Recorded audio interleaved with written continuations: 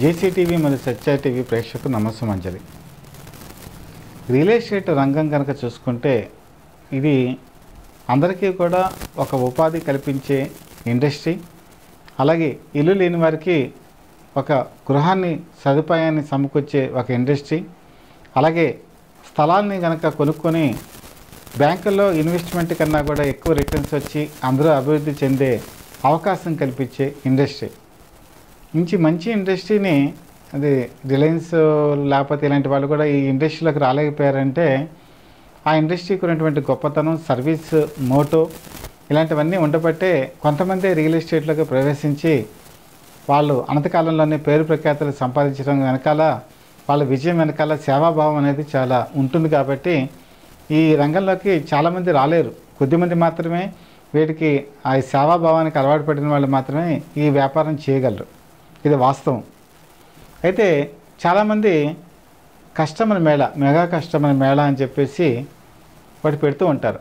అంటే mega customer Mela అనేది చాలామంది ఒకేసారి ఒకే టైంలో ఒక సండే రోజున అనేక రకాలైన కాళ్ళు దాదాపు వంద కాళ్ళు మినిమం ఉంటాయి. ఆ వంద కాళ్ళు అరేంజ్ చేసి వివిధ ప్రాంతాల నుంచి కస్టమర్ని ఒకే చోటకి చేర్చి ఆ సైట్ని అంటే ఆ వెంచర్ని చూపించి బిజినెస్ చేయటం దీని ప్రధానమైనటువంటి ఉద్దేశం. అయితే ఈ మెగా కస్టమర్ మేళా ఎప్పుడు పెడతారంటే జనరల్గా ఒక వెంచర్ ప్రారంభించినటువంటి మూడు నెలల కాలం ఏదైతే ఉంటుందో అది కీలకమైంది సాధారణంగా ఒక వెంచరు మార్కెటింగ్ చేసి కంప్లీట్ చేయడానికి ఏ ఇండస్ట్రీ అంటే ఈ దీనికి సంబంధించినటువంటి కంపెనీలు ఏవైతే ఉంటాయో అవి వన్ ఇయర్ పాటు మార్కెటింగ్ చేస్తాయి. ఆ వన్ ఇయర్ లోపలనే ఆ మార్కెటింగ్ కంప్లీట్ చేసుకుంటాయి. ఫస్ట్ త్రీ మంత్స్లో కనుక లేక కస్టమర్ మేళా కనుక పెట్టినట్టయితే చాలా తొందరగా మోటివేట్ అయ్యే అవకాశం ఉంటుంది. ఎందుకంటే ఒక చిన్న ఎగ్జాంపుల్. ఇప్పుడు ఒక చోట రెస్టారెంట్ ఉంది. రెస్టారెంట్లో ఎక్కువ మంది బయట నిలబడో లేకపోతే లోపల కూర్చొనో టిఫిన్ చేస్తూ కాఫీ తాగుతూ ఉన్నారంటే ఇది బాగుందని చెప్పి పెడతారు. అలాగే ఒక ఫార్మసీ ఉంటుంది. ఫార్మసీలో ఎక్కువ మంది కస్టమర్లు కనపడితే ఇక్కడికి వెళితే బాగుంటుందని వెళతారు. ఇది సైకలాజికల్గా ఒక అందరికీ ఉన్నటువంటి అలవాటు. ఎక్కడైతే రష్ ఉంటుందో ఆ రష్గా ఉన్న చోటకే వెళ్తారు. ఒక సినిమా రిలీజ్ అయిన తర్వాత కూడా ఆ సినిమా దగ్గర ఎక్కువ మంది జనాలు ఉంటే ఈ సినిమా బాగుంటుంది కదా అని చెప్పి వెళ్ళి టికెట్లు కొనుక్కోవటం జరుగుతుంది. అలాగే ఈ రియల్ ఎస్టేట్లో కూడా ఈ వెంచర్స్ ఒకే చోట ఒక వంద మంది కస్టమర్లు కనుక ఉన్నప్పుడు వాళ్ళు ఫస్ట్ ఏంటంటే ఒకరిని చూసి ఒకళ్ళు మోటివేట్ అవుతారు. అందులో కొంతమంది వెంటనే చెక్లు ఇచ్చి లేదా క్యాష్ ఇచ్చి వాళ్ళు బుక్ చేసుకునే వాళ్ళు కూడా ఉంటారు. వాళ్ళని చూసి మోటివేట్ అయ్యి వాళ్ళు వెంటనే మిగతా వాళ్ళు కూడా ఇక్కడ మనం తీసుకుందాం ఇది బాగుంది అని చెప్పి అనుకునే అవకాశం ఒకటి ఉంటుంది. ఇంకో ప్రధానమైన కారణం ఏంటంటే ఒక రియల్ ఎస్టేట్ కంపెనీ వెంచర్ ప్రారంభించినప్పుడు కొన్ని వాస్తు ఉంటాయి. అంటే కొంతమంది కొన్ని వాస్తుకి ప్రిఫరెన్స్ ఇస్తారు. ఈస్ట్కి కొంతమంది ప్రిఫరెన్స్ ఇస్తారు. వెస్ట్ స- సైడ్ ఉన్నది కొంతమంది ప్రిఫరెన్స్ ఇస్తారు ఇలాగ రకరకాలుగా ఉంటారు. ఉన్నప్పుడు ఫస్ట్లోనే వాళ్ళకి ఏ సైట్ కావాలో ఎక్కడ కావాలో ఏ ప్రాంతం అంటే ఏ సై- దీంట్లో కావాలో ఈశాన్యంలో కావాలా లేకపోతే ఇవన్నీ నైరుతిలో కావాలా ఇవన్నీ కొన్ని వాస్తుకు సంబంధించినవి ఉంటాయి. వాటిని ప్రిఫర్ చేసే వాళ్ళు వాళ్ళకు సంబంధించినవి బుక్ చేసుకోవడానికి ఎక్కువ అవకాశం ఉంటుంది. ఇది ప్రధానమైన కారణం. తర్వాత ప్రారంభంలో ఈ మెగా కస్టమర్ మేళ ఈ వెంచర్ ప్రారంభమైనటువంటి సమయంలో పెట్టడం వల్ల ఆ రోజు మూడు నెలల కాలంలో కొన్ని రియల్ ఎస్టేట్ కంపెనీలు ఏం చేస్తాయంటే ఒక ఆఫర్ ఇస్తాయి. అంటే కొంత డిస్కౌంట్ ఇవ్వటం జరుగుతుంది. ఆ డిస్కౌంట్ గురించి కొంతమంది అట్రాక్ట్ అయ్యి మార్కెటింగ్లో పార్టిసిపేషన్ చేసి వాళ్ళు సైట్ని బుక్ చేసుకుంటారు. ఇంకా మూడోది ఏంటంటే ఏ రియల్ ఎస్టేట్ వ్యాపారం చేసే వాళ్ళైనా ఎల్పి నెంబర్కి అప్లై చేసుకుంటారు. ఎల్పి నెంబర్కి అప్లై చేసుకున్నప్పుడు అది రావడానికి కొంత టైం పడుతుంది. ముందు ఆర్సీ అనే ఒక ప్రొసీజర్ ఉంటుంది. తర్వాత పెగ్గింగ్ అనే ఒకటి అంటారు. మూడో దానికి వచ్చేప్పటికి ఈ ఎల్పి నెంబర్ రావటం. ఎల్పి నెంబర్ ఎప్పుడైతే వచ్చిందో ఆ ఎల్పి నెంబర్ వచ్చిన తర్వాత అఫీషియల్గా వాళ్ళు దానికి సంబంధించినటువంటి రిజిస్ట్రేషన్ ప్రక్రియ అనేది ప్రారంభమవుతుంది.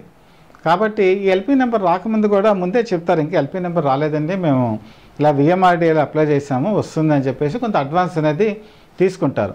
ఈ తీసుకొని ఈ డెవలప్మెంట్ యాక్టివిటీస్కి ఇది ఉపయోగించుకునే అవకాశం ఉంటుంది కాబట్టి ఒక మూడు నెలల సమయం దొరుకుతుంది. కాబట్టి కస్టమరు ఏ బ్యాంక్ లోన్కి అప్రోచ్ అవ్వాలన్నా లేదా మిగతా డబ్బులు సమకూర్చుకోవాలన్నా ఒక టైం దొరుకుతుంది. అదొక ప్రధానమైన కారణం. కాబట్టి వెంచర్ ప్రారంభంగానే కొంతమంది ఇన్వెస్ట్మెంట్ చేయడానికి ఇష్టపడతారు. అలాగే ఒకవేళ ఎల్పీ నెంబర్ వచ్చిన తర్వాత కూడా ఒక ఆరు నెలల టైము కొంతమంది రియల్ ఎస్టేట్ కంపెనీలు ఇస్తారు. దానికి రిజిస్ట్రేషన్ చేయించుకోవడానికి. ఎందుకంటే వన్ ఇయర్ మార్కెటింగ్ పీరియడ్ ఉంది కాబట్టి అది ప్రారంభమైన కొత్తల్లోనే వాళ్ళు వెంచర్ స్టార్టింగ్లో వచ్చారు కాబట్టి కస్టమర్లకి ప్రాధాన్యత ఇచ్చి రిజిస్ట్రేషన్ కూడా కొంత సమయం ఇవ్వటం జరుగుతుంది. కాబట్టి ఈ కారణం వల్ల కూడా కొంతమంది ఈ మెగా కస్టమర్ మేళాల్లో పార్టిసిపేషన్ చేసి వాళ్ళు సైట్ కొనుక్కోవడం జరుగుతుంది. కాబట్టి ఈరోజు ఒకరిని చూసి ఒకరు మోటివేయటం ఇంత చెప్పుకున్న అంశం. అలాగే వాళ్ళకి కొంత టైం దొరకటం రిజిస్ట్రేషన్కి అదొక ముఖ్యమైన అంశం. అలాగే ఈరోజు వాళ్ళకి సంబంధించినటువంటి ఏ ప్లాట్ కావాలో ఆ ప్లాట్ని ఎంచుకునే అవకాశం స్టార్టింగ్లోనే ఉంటుంది కాబట్టి వీటికి మోటివేట్ అవుతారు. అయితే ఇవన్నీ కూడా వేఎంఆర్డీఏ మన విశాఖపట్నం వచ్చేప్పటికి వేఎంఆర్డీఏ అలాగే శ్రీకాకుళం వచ్చేప్పటికి సుడా అక్కడ ఎస్యుడిఏ సుడా అక్కడ అలాగే విజయవాడ వచ్చేప్పటికి ఉడా తర్వాత తిరుపతికి వచ్చేప్పటికి తుడా ఇలాగే ఏ ఏ పేరుతో వాళ్ళు అనుమతులు పొందుతారో వాటికి ఎక్కువ ఇన్వెస్ట్మెంట్ చేయడానికి ఈరోజు ముందుకు వస్తున్నారు కారణం ఏంటంటే ఏదైతే ఇలాంటి వాటి చేత ఎల్పీ నెంబర్ వచ్చాయో వాళ్ళకి లోన్ ఫెసిలిటీ అనేది సైట్ తీసుకునేటప్పుడు కూడా లోన్ ఫెసిలిటీ ఉంటుంది.